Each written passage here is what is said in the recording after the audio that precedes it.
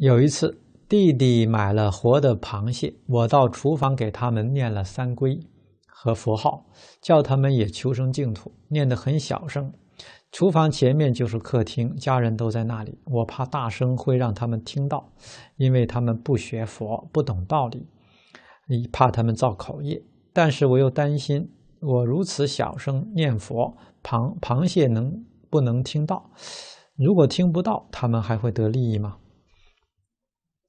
他们还是得利啊！你的念头到了，念力就是对他们的帮助啊，他们能够感知到，而且呢，这你能够啊感佛阿弥陀佛的慈悲愿力加持他们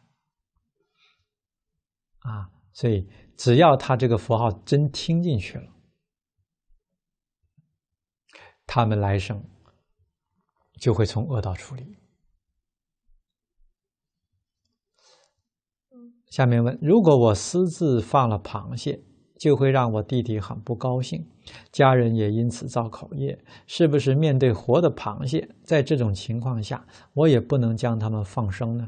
还是为了救他们，不顾及家人的感受而放生呢？啊，这确实也要照顾到家人啊，要跟家人说。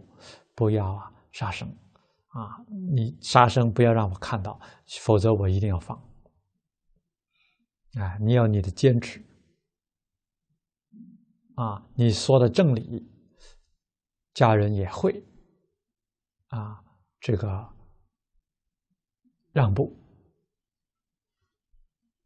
嗯，那么实在他不肯让步，嗯，那是他们呢，非要造这个恶业。要杀生，啊，你呢也只好随顺，啊，在旁边给他们念佛，啊，助导他们了此命在往生净土。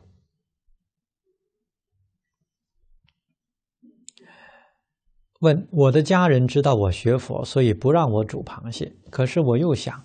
家人煮了活的螃蟹也会承受痛苦的果报，那我是不是应该亲自煮了它们，替家人承受果报呢？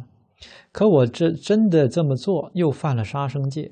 但是面对家人将来定会承受果报，我明知道却不代替他，是不是也不慈悲，不算是学佛呢？是不是没有菩提心呢？我对他们讲过为什么要吃素，但是他们不能理解，而且会冒出许多奇怪奇怪的问题。我说服不了他们，讲道理呢，他们又不能接受，甚至很固执。我一直无法说服他们，我真不知道怎么做。这个你不可以带他们杀啊！实际上，你带他们杀也没有办法消除他们的罪。为什么呢？你是为他杀呀，那罪还是要记在他们头上啊！他们愿意杀啊，所以呢，你就随着他们去。你自己别再造杀业了，啊，要不然你也有一份，啊，所以最好是什么？